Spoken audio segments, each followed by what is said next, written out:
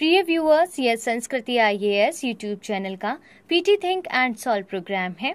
इस प्रोग्राम के अंतर्गत प्रत्येक दिन यूपीएससी और स्टेट पीसीएस से संबंधित पाँच प्रश्न व्याख्या सहित उत्तर के साथ दिए जाएँगे।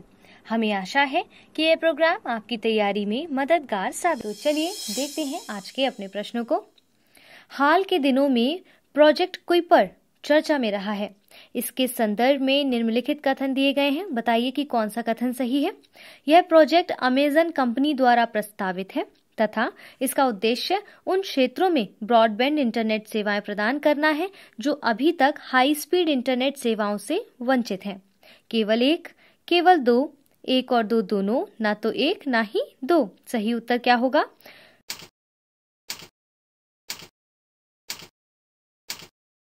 Option C project Kuiper Amazon company द्वारा प्रस्तावित एक महत्वाकांक्षी योजना है।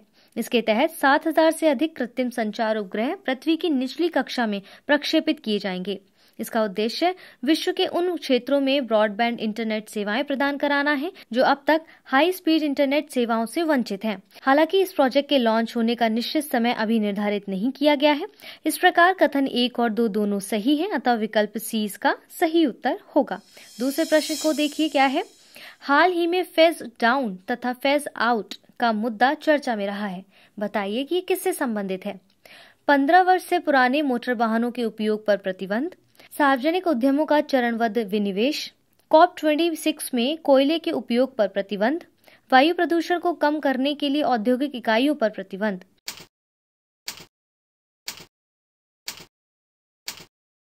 ऑप्शन सी इसका सही उत्तर होगा।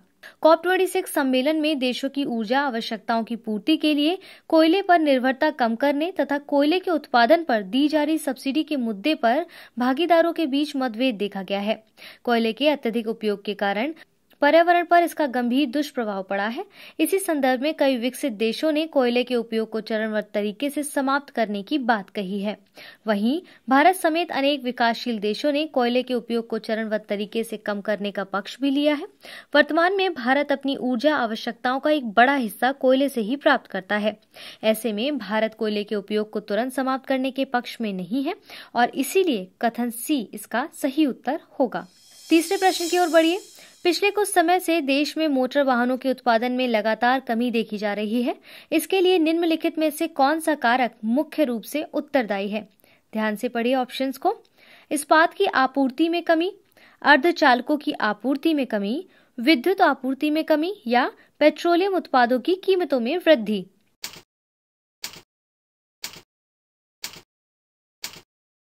ऑप्शन बी इसका सही उत्तर होगा। व्याख्या को देखिए क्या है।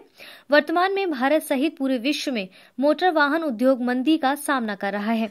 वाहनों के निर्माण में प्रयुक्त होने वाले अर्धचालकों के उत्पादन एवं आपूर्ति में कमी इसके लिए प्रमुख रूप से उत्तरदायी है। वाहनों में अर्धचालकों का प्रयोग इलेक्ट्रॉनिक कंट्रोल यूनिट में किया जाता है। लग्जरी एवं स्वचालित वाहनों के उत्पादन में ये अनिवार्य घटक हैं। अर्धचालकों की आपूर्ति में कमी के कारण भारत में कुछ वाहन उत्पादन इकाइयों को बंद करना पड़ा है और इसीलिए विकल्प बी इसका सही उत्तर है। चौथे प्रश्न को देखिए, क्या है? सुपेस पोर्टल के संदर्भ में सही कथन का चयन कीजिए। यह सर्वोच्च न्यायालय की कार्यप्रणाली को त्वरित और दक्ष बनाएगा। यह आर्टिफिशियल इंटेलिजेंस तकनीक पर आधारित है। केवल एक, केवल दो, एक और दो दोनों, ना तो एक, ना ही दो। सही उत्तर क्या होगा?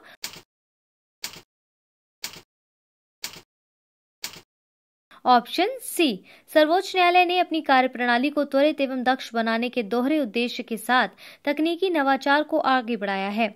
SUPACE supreme court portal for assistant in court efficiency portal artificial intelligence तकनीक पर आधारित है। यह किसी मामले से संबंधित विभिन्न प्रासंगिक कानूनों एवं तथ्यों को समन्वित रूप से न्यायाधीशों के समक्ष प्रस्तुत करता है। यह न्यायाधीशों द्वारा त्वरित रूप से और अधिक दक्षता से निर्णय लेने में सहायता प्रदान करेगा। और इसीलिए कथन एक और दो दोनों सही है तो विकल्प सी इसका सही उत्तर होगा। जल्दी से अपनी स्क्रीन पे पाँचवें प्रश्न को देखिए। निम्नलिखित कथनों पर विचार करिए और बताइए कि कौन सा कथन सही नहीं है।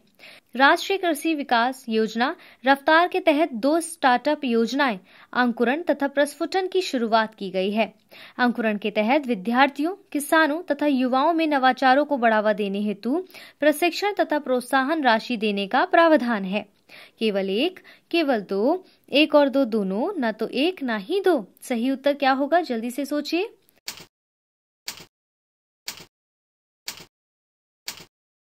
ऑप्शन डी, राष्ट्रीय कृषि विकास योजना कृषि और संबद्ध क्षेत्रों के कायाकल्प के लिए लाभकारी दृष्टिकोण का उद्देश्य कृषि एवं संबद्ध क्षेत्रों में बुनियादी ढांचे को मज़बूत बनाना है, ताकि वित्तीय सहायता की सुविधा एवं व्यवसाय इंक्यूबेटर प्रणाली को पोषित कर कृषि एवं कृषि व्यवसाय को बढ़ावा दिया जा सके।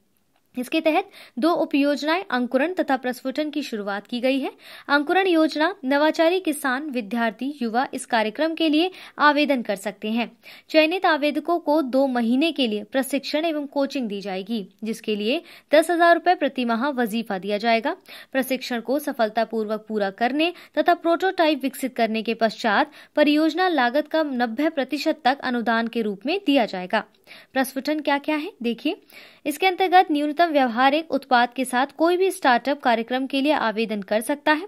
उत्पाद, प्रयोगशाला परीक्षण तथा प्रमाणीकरण पर कार्य करने हेतु दो महीने के लिए इंक्यूबेशन की सुविधा प्रदान की जाएगी।